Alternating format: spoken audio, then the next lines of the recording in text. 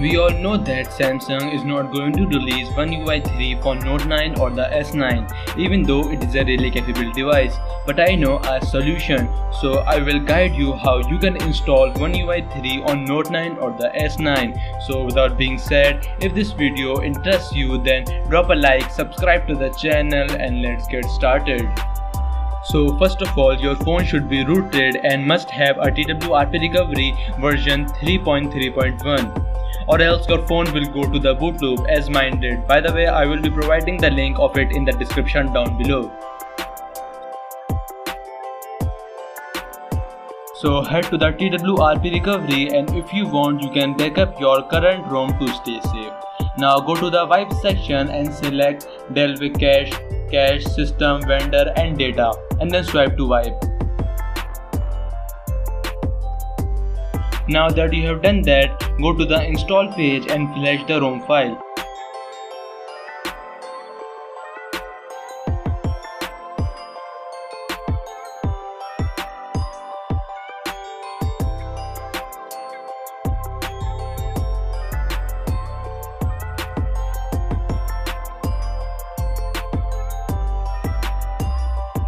If you want you can select advanced debloat but I would recommend you to select no debloat as it does not have that much apps, only the basic ones.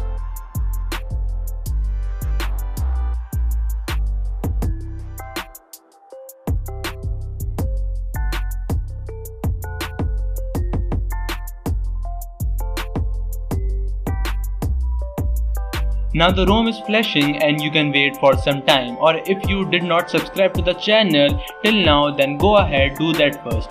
Also note that the ROM is pre-rooted so you don't have to flash Magisk.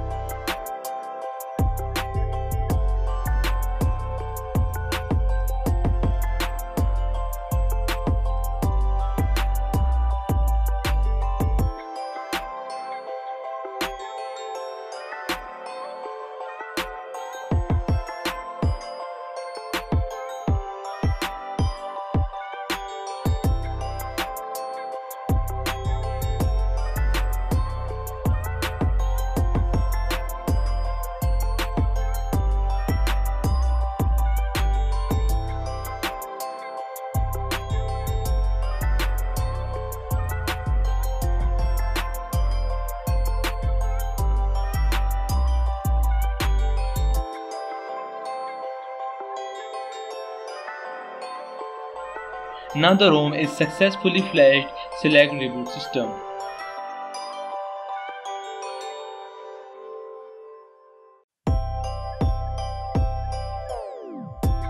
The first boot might take some while and if it goes to the boot loop then reboot to the recovery and flash the ROM again.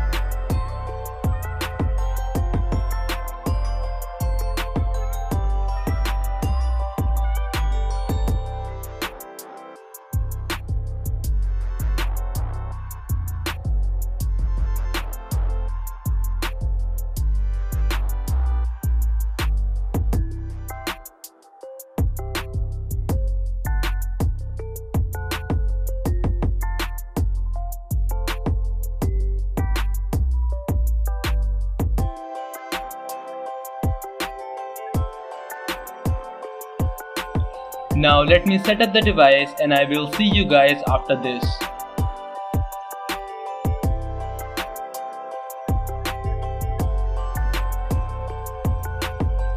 The first impression of the ROM is quite good and I can see how smooth this is working but can't say much till the review part.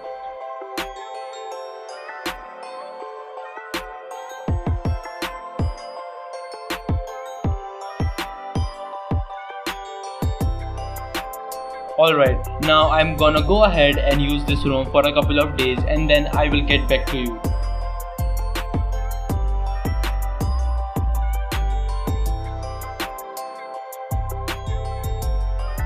So hey, I'm back with the review of the ROM. So every ROM has some cons, this one also has, but the number is really less. First of all, the first thing that I noticed about this ROM is the user interface. It's much smoother than the stock one and looks refreshing. The lock screen is minimal now and the blur in many areas are just awesome.